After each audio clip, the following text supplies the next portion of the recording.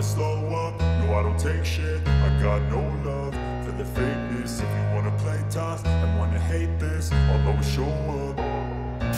Welcome back, friends. I'm Rogue, and in today's Lord of the Rings Online Beginner Guide, we are going to be taking a look at the Hunter.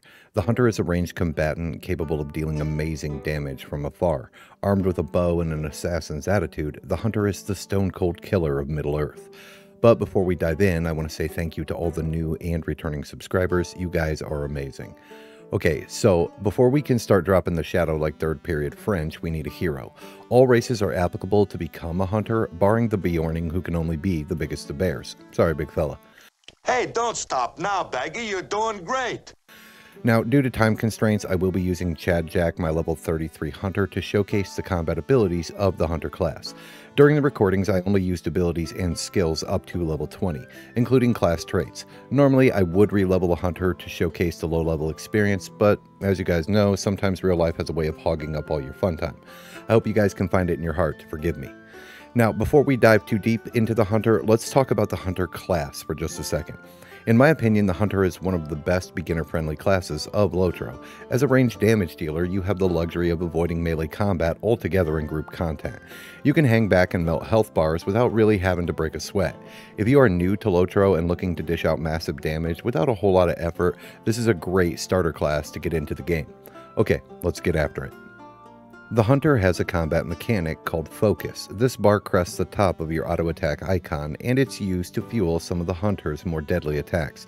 But don't worry, it's an easy to manage mechanic. The Hunter's combat skills can be broken into two types focus builders and focus attacks. As I said, it's pretty easy to manage. Okay, let's see what the starting Hunter receives. The Hunter begins play with four skills. Quick Shot is your starting spammable attack and deals low damage at a 30 meter range, adding one focus to your Hunter and has no cooldown, but it does have a 0.5 induction or casting time. This skill will be your most used attack while leveling, and as you gain levels has the potential to end fights very quickly. Blindside is another 30 meter range attack that deals moderate damage and interrupts enemy inductions, grants 3 focus to your hunter, and rests on an 18 second cooldown. The primary use of this skill is to put a stop to those evil wizards from setting you on fire or whatever hoodoo they are trying to cast. Barbed Arrow is another 30 meter range induction skill with a casting time of 1.5 seconds. It deals moderate damage and places a bleed on your target that deals damage every 2 seconds for 12 seconds, and reduces their movement speed by 10% for 20 seconds. Adds 1 focus and sits on a 1.5 second cooldown. This is a great fight starter skill at low level. Not only does it place a bleed on the target, but also slows them down, allowing you to send more arrows their way before they can get close. And finally, Penetrating Shot. This 30 meter range attack deals good damage at the cost of 3 focus, and lowers the target's physical and tactical mitigation or their defenses for 10 seconds on a 3 second cooldown. This is a great kill shot skill, and sometimes ends fights before they ever start. Due to the recent changes of Lotro, you can now select a class specialization at second level. The most beginner friendly, in my humble opinion, is the blue line. This allows you to move while using your archery skills, and that perk in itself makes this a favorite amongst the hunters. For selecting the blue line, you gain two new skills. Scourging Blow is a dual strike melee attack that deals both your main and offhand damage to a single target and adds 2 focus to your hunter and sits on a 5 second cooldown. It is worth mentioning that this skill does deal additional damage if the target is suffering from the effects of Barbed Arrow, but does end the bleed effect once used. It's a nice follow up skill if the enemy manages to make it that close to you and Barrage, another 30 meter range focus attack that deals increased damage if used consecutively, but costs more power with each use, at the cost of 3 focus and rests on a 2 second cooldown. This skill is good for a quick burst of damage against a tougher enemy. The mobility of the Blue Line Hunter offers great combat speed while questing over land and keeping your hunter at a safe distance while running group content. Okay, let's dive into what the hunter receives as you gain levels. At third level, you gain Set Trap. This 1 second induction skill places a snare in front of the hunter that deals common damage and roots the target for 30 seconds, but it does have a 50% chance to break upon dealing additional damage to the target, and a 45 second cooldown. This skill is nice for small group pulling, and it's a nice addition to the hunter's combat suite, but it's definitely not the greatest tool in your arsenal. Upon reaching 4th level, the hunter gains their first stance. Stances add additional bonuses to your combat abilities depending on the stance. Stances can be toggled by right clicking them and stay active until removed or you decide to switch stances. At 4th level, you receive Strength Stance, which alters your quick shot ability, granting a bonus to your critical rating, archery induction skill damage output, and focus attack damage, and rests on a 5 second cooldown. There is no reason to ever be in combat without a stance active, so be sure to always have one toggled. By 6th level, you will have placed your 5th point into the blue line, granting the passive ability Knock on the Move, which reduces the movement penalty of your induction skills by 20%, allowing you to fight on the move that much faster. At 8th level, the hunter gains the Focus skill, a channeled skill that lasts for 3 seconds and adds 1 focus point every 0.3 seconds, but ends early if you move and sits on a 2 second cooldown. This skill is a great way to keep your focus maxed in between fights, allowing you to lead with your strongest attacks when engaging the enemy. At 9th level, if you're still following the blue line, you gain access to the split shot skill. This induction skill has a casting time of 1 second and launches multiple arrows at once, hitting up to 7 targets when the skill is maxed out, at the cost of 2 focus and sits on a 10 second cooldown. This is your best option for small group pulling at low level and is great for thinning the herd when engaging multiple enemies. Upon reaching level 10, you gain Swift Bow. This induction skill has a casting time of 1.7 seconds and launches two arrows at a single target for good damage and adds 2 focus to your hunter, and sits on a 10 second cooldown. This is an excellent fight starter against stronger enemies if Blindside happens to be on cooldown. Okay, let's talk about a rotation for just a moment. The Hunter class deals amazing damage with most of its skills. Being able to do this while on the move is just insult to injury. But there are a few things to keep in mind while you are sending bad guys to the afterlife one arrow at a time. First is to always try to maintain focus. It's easy to forget to use your focus skill after every fight to keep your strongest mechanics topped off. That being said, there really isn't a wrong way to win ranged fights with the hunter, and you will discover that you can end most fights with weaker enemies in 1 to 2 arrows. So let's consider a boss enemy for our target for the hunter rotation. Manage your focus. Try to keep your focus maxed before every engagement. This offers the option to rip off your strongest attacks whenever you need to deal strong burst damage. Bleed. I like to kick off a boss fight with Barbed Arrow that's 12 seconds of damage and minus 10% movement speed to the target, allowing you to keep your enemy at a distance. This skill only has a 1.5 second cooldown, so reapply as needed. Penetrating shot lowers the target's physical and tactical mitigation. Now, it's not by a drastic amount, but 4% is better than no percent, and this skill still deals good damage. And blindside. This is your heaviest hitter on an 18 second cooldown and will immediately replenish the 3 focus cost of penetrating shot.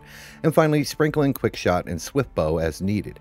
Now, this is a bit of an overkill rotation for the 10th level hero, and I'm going to be honest here, no overland enemy is surviving to see the end of this rotation, but it's always nice to have a plan. It's around this level that I recommend you start to pursue Slayer deeds to snag up your first virtue. As for what virtue to select, Determination should be your first virtue due to agility being the primary stat for the Hunter hero. It also increases physical mastery rating, critical rating, and a passive to both your physical and tactical masteries. In my opinion, this is the best in slot virtue for the Hunter class. Anything beyond this is up to you. At 12th level, you gain access to Find the Path, a toggled movement skill that increases your out of combat run speed. There's no reason to not have this skill active at all times.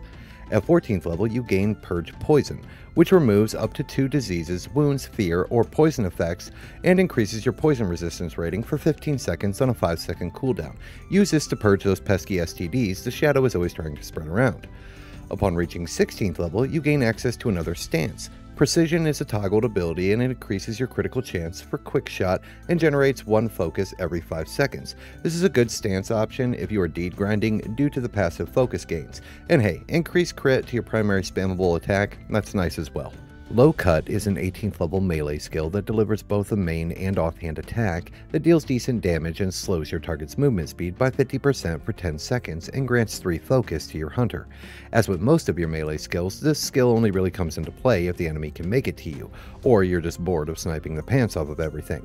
And finally at 20th level you gain 3 new skills. Cry of the Hunter is a close range stun that has a 100% break chance if you damage the target, but can hit up to 6 enemies in a 6 meter radius and slows the targets by 50% for 10 seconds, and that's all well and good. But the real reason this skill is good is it provides a damage shield of temporary hit points that lasts for 30 seconds and prevents your induction skills from being set back. This is a low level hunter's oh shit button in a nutshell. Stun up to 6 targets, slow them by 50% for 10 seconds, and gain temporary hit points. But it does have a lengthy cooldown of 1 minute, so I'd keep this skill in reserve for when you absolutely need it. Desperate Flight is an escape power that returns your hunter to the nearest rally point on a 30 minute cooldown. I've never had to use this skill, but I suppose it's nice to have an abandoned ship button. And Blood Arrow, a single target attack that deals good damage and removes a corruption effect from your target and restores 10% of your hunter's maximum morale at the cost of 3 focus and sits on a 25 second cooldown. Okay, let's touch on a beginner friendly build to keep your hunter in the fight and keep your questing smooth. I began with 5 points and a Strong Draw. This adds up to 25% damage bonus to your focus consuming skills and in my opinion is a better choice than just 5% overall damage provided by impact arrows. With 5 points spent, we unlock the Knock on the Move passive, which grants plus 20% induction movement speed. Basically, you can use your induction skills faster while on the move. From here, I placed 4 points into Split Shot. Not only does this unlock the Split Shot skill, which we already went over, but it can hit up to 7 targets with 4 points spent. Then I went back to Strong Draw and placed my sixth point. This grants a 15% chance to reduce the focus cost of all skills by 1, and although 15% chance isn't much, it does help with focus management a little. By placing our 10th point, we now unlock the passive Fleetness, which has a 10% chance to increase our run speed by 10% anytime damage is dealt to an enemy for 20 seconds. As a blue line hunter, your mobility is your strongest asset, and any buff that keeps the enemy at bay is a win in my book. From here, I took 5 points into Pathfinder for out of combat movement speed. This is solely due to the fact that I like being fast when doing overland questing. With 15 points spent, we now have access to the Barbed Hindrance passive, which increases the damage of our Barbed Arrow skill by 30%, all the more reason for Barbed Arrow to remain as our fight starter move. From here, I took 2 points into Blood Arrow, which adds a heal over time to our Blood Arrow attack, now restoring 10% of our maximum morale over time. It's a nice passive heal and should follow your Barbed Arrow when facing down a boss enemy. With my remaining 2 points, I selected Exsanguinate, which is a reactionary skill that with 2 points spent has a 66% chance to proc whenever you use the Blood Arrow skill. It deals good initial damage and bleeds the target dealing light damage every 2 seconds for 20 seconds. For me, the Hunter is the assassin of Lotro, a very easy class to get invested in with amazing range damage, mobility, and survivability. The Hunter is a fantastic class to explore Middle Earth with. If you're new to Lotro and you're looking to send the bad guys packing with ease, and maybe you're a fan of ranged DPS, you cannot go wrong with the Hunter. Well, my friends, if you made it this far, thank you so much for your time, and I hope you're enjoying your adventures in Middle Earth. If you enjoyed the video, be sure to drop a like to snipe the algorithm, and consider subscribing for more RPG stuff. And as always, have a wonderful day, guys. Goodbye.